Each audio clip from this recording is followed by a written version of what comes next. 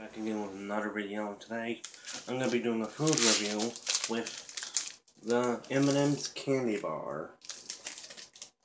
But I never had this before. Let's open it up and see. Okay. Okay. Presentation looks nice.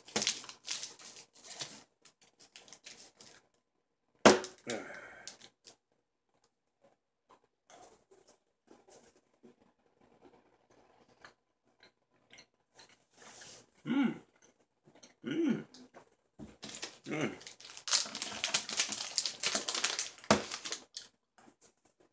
This is really good.